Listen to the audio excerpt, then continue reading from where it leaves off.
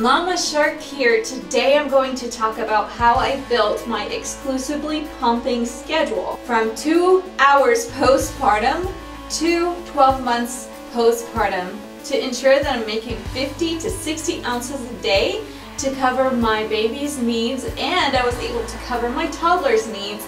If you guys are interested in how I increased my milk supply, please make sure to check out that video in the links in the description box below. Hey ladies, make sure to check out the links below my Elvie Pump giveaway. It's going to be happening till December 2020 and we are giving away a few pumps during that period and the Christmas 2020 is going to be the biggest giveaway. So make sure to check out that video in the links in the description box below. First thing you need to do is make sure that you're pumping right away. I would say around two hours postpartum if you're not going to be nursing. If you are going to build up your supply the first six weeks or even more with having your baby nurse, definitely do that first because that will really help your supply, definitely more than any pump out there. So to start off, if you are exclusively pumping, make sure that you're starting out two hours postpartum. Don't wait too long before you start pumping because that can affect your supply and then you will not be making enough for your baby. So first thing you guys need to do, and I'm using my handy board over here, is you guys need to start with eight pumps a day. And when I say eight pumps a day, I mean eight pumps per 24 hour period to stick to the pump every two hours to three hours time frame. I'm breaking it out for you to easily be able to manage your schedule. So I broke it out in the wake up pump, which is always going to happen as long as you're exclusively pumping, along with the before going to bed pump, which again is always going to happen before going to bed. So the wake up pump and before going to bed are going to be pumps that will never change until you actually wean off pumping. Then I broke it out into the daytime pumps, which is pretty much any pump during the time that you are awake, excluding the wake up and before bed, and then the nighttime pumps. The first thing that I did is I maintained the schedule right here, 7 a.m., 10 a.m., 1 p.m., 4 p.m., 7 p.m., 10 p.m., two midnight pumps, at 1 a.m. and 4 a.m. I made the mistake with my first baby where I didn't do this and I did not make enough milk for him. This is my second baby schedule. So this is where I was able to make 50 to 60 ounces a day of milk to supply for my baby. I was able to fully feed him exclusively breast milk during the whole first year. I was able to stash away some milk. If you guys check out my how I increased my milk supply, you'll see how much milk I had in my freezer.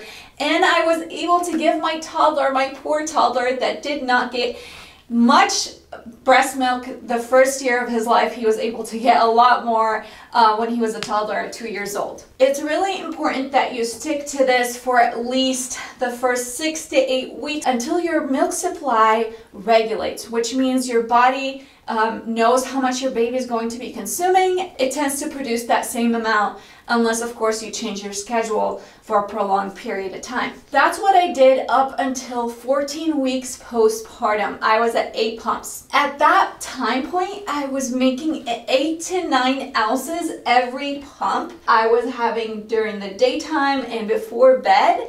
And then the wake up and nighttime pumps made me close to 12 to 16 ounces, which is amazing. Those nighttime pumps were the most productive for me. So this is going to be dependent on you guys and your goals. My goal was to reach one year of giving my baby breast milk. When I reached 14 weeks and I was comfortable with what I was making, I finally uh, was able to drop one of my nighttime pumps. So I dropped one of my nighttime pumps and I did not touch any of those first few pumps okay? So in order to really maximize the amount of milk I was producing at night, I actually combined these two, two uh, pumps right here to a 3 a.m. pump, okay? So I dropped the 1 a.m. and 4 a.m. I made them a 3 a.m. So I actually dropped one pump, just one pump, but I made sure to change the time to make sure that I'm distributing the pumps appropriately to not lose my supply. And when I did that,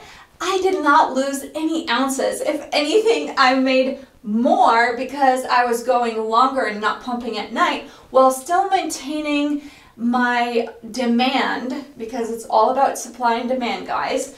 I maintained my demand during the daytime pumps and my body knew that there was demand. So the lo- I went longer at night, but I still made more milk per that 3 a.m. pump because my supply has regulated. At four months old, that's when they usually recommend that you introduce some solid foods.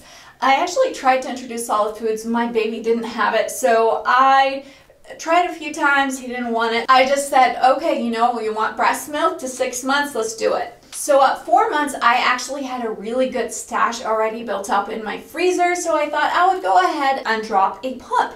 But guys, don't make the mistake of dropping the nighttime pump too soon that will um, really affect your supply because if you're going eight hours in between, you might jeopardize your supply. Again, at four months, I still wanted to go to a year, so I did not drop the night a nighttime pump. At that point, I dropped one of the daytime pumps. You obviously can't drop the wake up or before bed pumps because you need those. You need to be empty when you go to bed and you need to pump right away when you wake up because you're going to be engorged. 11, 3 p.m. and 6.30. So during the workday, I had two pumps and then um, one pump right after I was done working and then finally my pump before bed, which worked really good with time management, especially with a baby and a toddler.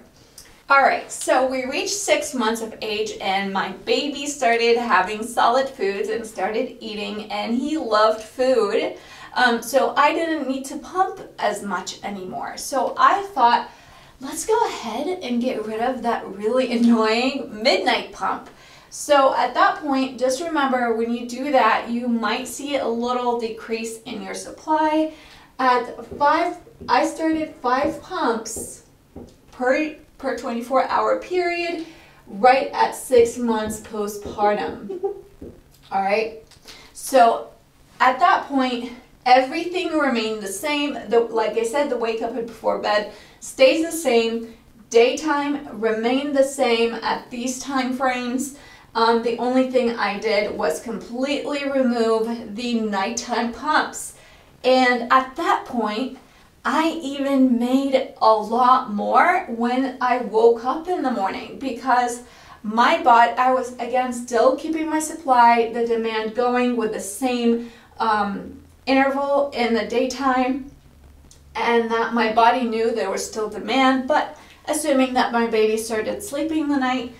So at the 7 a.m. pump, I made close to 14 to 16 ounces, which was pretty amazing. At 10 months, I was at four pumps, and right from there, right at 10 months, when I already had a lot of milk in the freezer, I started slowly every few weeks decreasing my pumps to where I went down to two pumps a day and eventually one pump and eventually completely stopped at one year mark.